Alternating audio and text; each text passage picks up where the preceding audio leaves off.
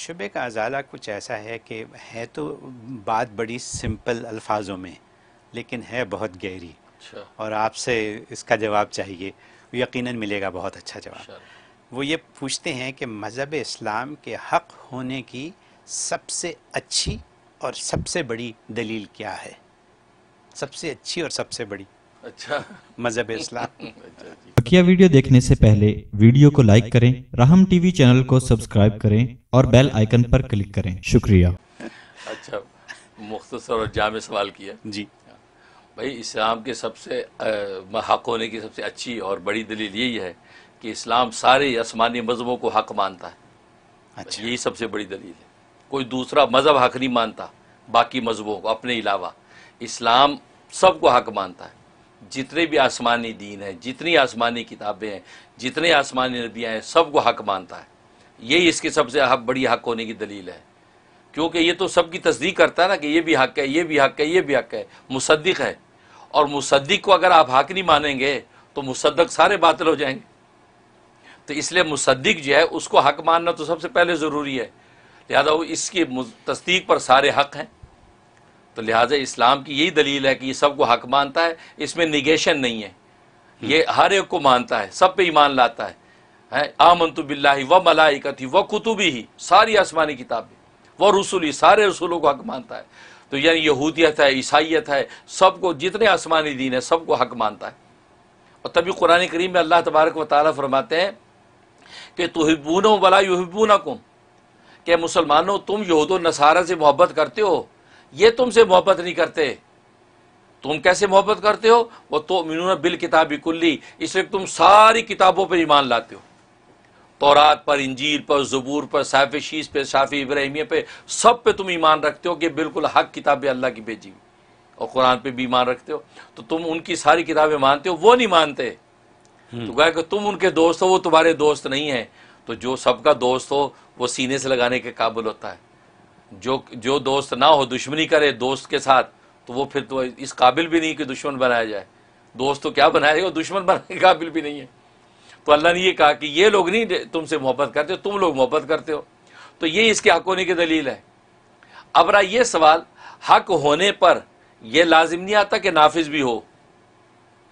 देखो, एक जो कैंसल करेंसी हो कैंसल्ड वो करेंसी हक तो है ना, सही तो है, बिल्कुल वो स्टेट बैंक से जारी करता है, लेकिन नाफिज नहीं है मार्केट में चलेगी नहीं। वो कहेंगे, वो कैंसिल आप बैंक में जाके नहीं लेके आए, ठीक करंट चलेगी। तो हक मान रहे हैं उसको हाँ ये जी जाली नहीं है, फेक नहीं है है असली, लेकिन भाई देखो, इसका टाइम नहीं, चलेगा, ठीक? जैसे प्रेसिडेंट एक अमेरिका का प्रेसिडेंट, इस वक्त ट्रंप है। अब कोई ओबामा की निकाले, ओबामा जो वो प्रेसिडेंट यस प्रेसिडेंट था सलूट बिल्कुल था, लेकिन अब अब नहीं, अब ट्रंप की चलेगी, सवाल है ना? तो मालूम हुआ कि जो उसकी ज़माने की लिमिट है, जिस वक्त वो हक है और नाफिज है तो काबिल कबूल लेकिन अब ये सारे मज़हब हक हैं, लेकिन नाफिज नहीं है ये कैंसल करेंसियाँ हैं। हाँ करंट करेंसी अब इस्लाम है। अब आपको जैसे बैंक में से करंट करेंसी आपको कन्वर्ट करके इस्तेमाल कर सकते हैं। इसी तरीके से यहूदियत हक है, इस्लाम में मान लिया। लेकिन अब अगर उसको चलना है और आगे बढ़ना है तो उसको इस्लाम में कन्वर्ट होना पड़ेगा। ईसाइत को यहूदी, इस्लाम में कन्वर्ट होना पड़ेगा। तो हक मानते लेकिन हक होने से नाफिज होना लाजिम नहीं आता। एक चीज़ हक है, लिहाजा नाफिज भी हो जाए, हैं? आप ये कहेंगे, आज हमने जुमा पढ़ा है तो कल हम यहूदियों वाला हफ़्ता पढ़ेंगे, हैं? और परसों ईसाइयों वाला इतवार भी पढ़ लेंगे। नहीं नो नो वे क्योंकि उनका टाइम गुजर चुका है। अब वो वो गए कि टाइम गुजर चुका। अब जिसका टाइम है, क्योंकि आपको पता है, किताबें भी टेक्स्ट बुक भी हर साल चेंज होती ना। तालीमी बोर्ड से आज अभी टेक्स्ट बुक पहली अब ये टेक्स्ट बुक चलेगी। अब वही टेक्स्ट बुक पे एग्ज़ाम होगा उसी को जिसे पास कर लिया तो उसको डिग्री मिलेगी। अब पहली वाली टेक्स्ट बुक का माहिर जो है उसको नहीं मिलेगी। तभी तो यूएसएमएल ही होता है। पाकिस्तान का डॉक्टर यहाँ को यू एस एम यूएसएमएल क्यों देता है? कि जी आपने वहाँ डॉक्टरी की है सलूट लेकिन आप अब यहाँ की जो है ना उसको आप पास करें। अब आपको यहाँ की डिग्री मिलेगी क्योंकि अब यहाँ आपको रहना है। तो इस्लाम जो है वो हक है और सबको हक मानता है इसमें निगेशन नहीं है। और निगेशन जिसमें नहीं होता उसमें तासुब नहीं होता। और इस्लाम की ये सबसे बड़ी एक और दलील है कि ये मुतासब नहीं है। ये सबको सीने से लगाता है। लेकिन दूसरे मज़हब जो है उनमें निगेशन है। क्योंकि यहूदियत किसे कहते हैं? यहूदी किसको कहते हैं? यहूदियत इंजी, इंजील की तकजीब और ईसा इस्लाम का इनकार। इसका नाम यहूदियत है। और ईसाइत किसे कहते हैं? मोहम्मद सल्लल्लाहु की तकजीब और कुरान करीम का इनकार। इसको कहते हैं ईसाइत और इस्लाम किसे कहते हैं? इसमें कोई निगेशन नहीं है। ये आमन तो बिल्लाही व मलाइकती व कुतुबी व रसूली, सबको हक मानता है, हैं? लेकिन ये कहता है उनका टाइम गुजर चुका है, अब टाइम उसका नहीं, अब टाइम इसका है। अब कुरान का टाइम है, हैं? और कुरान एक ऐसी किताब है, फ़िया कुतुबन क़य्यमा, कि ये सारी पहली किताबों की उलूम लेकर आई है। और नबी ऐसा नबी है कि सारे पहले नबियों के मोजे और कमालत लेकर आया है।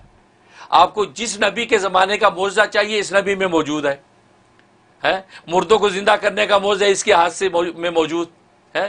गोया के सारे मोजात जो सहरे पहले नबियों को मिले, हुस्न यूसुफ, दम ईसा यद बैजादारी आंचे खुबा के तुतनादारी अल्लाह ने सारे नबी कमालत इसमें बंद करके आखिर ज़माने को लोगों को भेज दिया है कि इस नमूना हयात पे अमल कर लोगे तो तुम कामयाब हो जाओगे। पहलों वाली बरकतें भी ले लोगे, क्योंकि सारे कमालत इसके अंदर मौजूद। तुम ये ये नहीं कह सकते कि यार, पहले इब्राहिम अलैहिस्सलाम का जो ज़माना था, मूसा के ज़माने की बरकतें यार मिल जाती, काश। नहीं, ये नबी ऐसा भेज दिया है, वो सारों के कमालत लेके आया है। इसका दामन पकड़ लो कि तुम पहले वाले सारे कमालत भी मिल जाएँगे और आगे खुद इट्सेल्फ इसके जो कमालत हैं उसका फैज भी उठा के जन्नतों के दरवाजे खुल जाएँगे। सुबह ये ये कमाल है। तो इसलिए ये कहना कि भाई जो इस नबी को मान लेंगे पहली तक नहीं तकजीब नहीं वो पहलों के सारे कमालत पहलों के उलूम इस नबी पर को मानने पर तुम्हें मिल जाएँगे। इसलिए जो है ना इस्लाम के हक होने की ये दलील इस पर तासुब नहीं है। जहाँ निगेशन आता है, वो तासुब की दीवार खड़ी हो जाती है। और जहाँ तसुब की दीवार खड़ी होती है, ये इस बात की दलील होती है कि ये मज़हब पूरी आलम को लीड नहीं कर सकता। क्योंकि पूरे आलम को लीड करने के लिए आपको निगेशन नहीं चाहिए। आपको सबको लेके चलना है। और ये वसफ अल्लाह ने इस्लाम में रखा है। यहूदियत सारे आलम को लीड नहीं कर सकती, क्योंकि उसमें तासुब है। वो यहूदियत को ईसाइत को काटती है। ईसाइत लीड नहीं कर सकती क्योंकि वो मोहम्मद वसल्लम को काटते हैं। तो नतीजा क्या हुआ कि लीड पूरे आलम को करने वाला एक ही मज़हब वो इस्लाम है क्योंकि सबको आगोश में लेके चलता है तो पूरी दुनिया को लीड करने वाला मज़हब वही होता है जिसमें निगेशन ना हो और जो पॉजिटिवली पूरी कायनात को लेकर खुदा की तरफ़ बढ़ सके। वो इस्लाम में खूबी है। तभी तो अबुल हसन नदवी रहमत उन्होंने बड़ी खूबसूरत बात की थी ये शिकागो में बयान किया था। उन्होंने फरमाया था कि अमरीका जितना ऊँचा इसका अल्लाह ने कद बनाया है, जितना इस बड़ा सुपर पावर इसको बनाया है, इसका मज़हब इसके कद के साथ मैच नहीं करता। इसके कद के साथ मैच करने वाला मज़हब जो इस्लाम है, क्योंकि ईसाइत इसके साथ मैच नहीं करती कि ये कहते हैं जो हुक्मरान ईसाई होना चाहिए। इस मज़हब का ऑफिशियल मज़हब ईसाइत है। ईसाइत में तो निगेशन है। उसमें तासुब की दीवार है। जो तासुब की दीवार की वजह से पूरी दुनिया को लीड करने का अहल नहीं है। हाँ इस्लाम वाहिद मज़हब है जो अमेरिका के कद के साथ मैच करता है। लिहाजा इस्लाम का परचम यहाँ बुलंद हो तो जैसे मादी तौर पर इसको वजाहत हासिल पूरी दुनिया को ये लीड करता है तो रूहानी तौर पर भी ये सारी दुनिया को लीड करने का अहल हो जाएगा। तो इस यहाँ इसके कद के मुनासिब तो इस्लाम है इसके कद के मुनासिब ईसाइत नहीं है। तो इस्लाम की ये वो दलीलें हैं कि जिसकी वजह इस्लाम हक मज़हब है और इसकी सिंपल और वाज दलील यही है कि ये इस्लाम जो है सच्चा और ये दुनिया के अंदर जो है ये काबिल अमल मज़हब है। बहुत खूब एक्सेप्टेंस की बात है। World wide acceptance beautiful